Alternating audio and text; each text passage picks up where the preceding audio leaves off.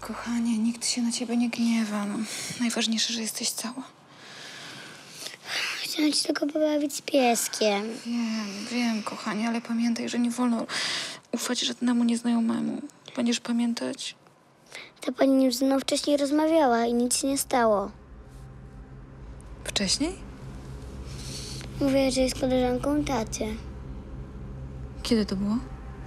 Jak dostałam kocka. Przecież mówiłaś, że dostałaś go od koleżanki. Wiem, przepraszam. Ta pani mi go dała.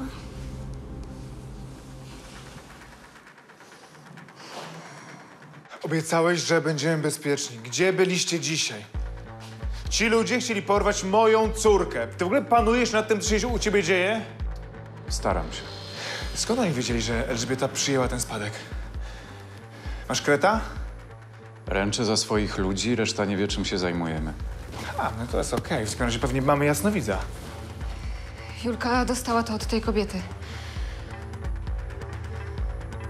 Daj.